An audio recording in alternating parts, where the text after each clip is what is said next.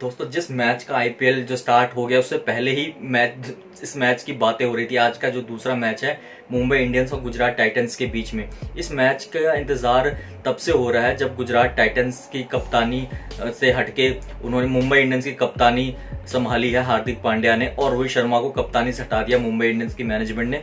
तो तब से बातें हो रही है, कब होगा गुजरात टाइटन्स और मुंबई इंडियंस का मैच। तो वो आज का दिन है, आज जो दूसरा मैच है तो वो मैच बहुत ही इंपॉर्टेंट है, क्योंकि दो तरफ़ से आप देख सकते हो, क्योंकि एक तो ये क्योंकि मुंबई इंडियंस जब उतरेगी मैदान में तो कितने सालों के बाद कप्तान रोहित शर्मा तो होंगे, लेकिन एज अ प्लेयर खेलेंगे एज अ कैप्टन नहीं खेलेंगे तो वो इस चीज़ में, और दूसरा जो ये है कि हार्दिक पांड्या उस टीम के खिलाफ खेलेंगे, जिस टीम में पिछले साल वो कप्तान थे, दो साल से कप्तान थे और इस साल मुंबई इंडियंस में तो बहुत चीज़ें इस मैच में अच्छा देखने को मिलेगा और शुभमन गिल भी बहुत ही अच्छा शानदार प्लेयर हैं और उनको कप्तानी सौंपी है। तो शुभमन गिल के पे भी प्रेशर होगा, लेकिन ये उनके लिए एक अच्छा मौका है इससे निकलने का क्यों आगे चल के ना, अगर भारतीय टीम की कोई कप्तानी का दावेदार है तो शुभमन गिल है एक, क्योंकि वो तीनों फॉर्मेट में खेलते हैं, तीनों फॉर्मेट में अच्छा परफॉर्म करते हैं। तो शुभमन गिल पे भी भारतीय टीम मैनेजमेंट दाव खेल सकती है। तो ये जो सीज़न है ना आईपीएल का तो शुमन गिल के लिए भी एक अच्छा है, एक उनको अपॉर्चुनिटी मिली है कप्तानी की।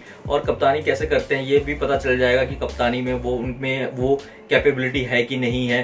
कि उनको आगे चल के भारतीय टीम का कप्तान बनाया जाए तो बहुत चीज़ें हैं। लेकिन मेन ये है, जब हार्दिक पांड्या उतरेंगे मैदान में टॉस करने के लिए, या फिर कभी भी बैटिंग बॉलिंग या फिर कुछ भी करेंगे तो फिर रोहित शर्मा के नाम से हुटिंग होना तो दर्शकों के तरफ़ से पक्का बनती है, क्योंकि ये चीज़ें तो जब से रोहित शर्मा को हटा के हार्दिक पांड्या को कप्तानी सौंपी गई है ना ये बातें सोशल मीडिया पे लगातार चल रही है कि आगे चल के क्या होगा।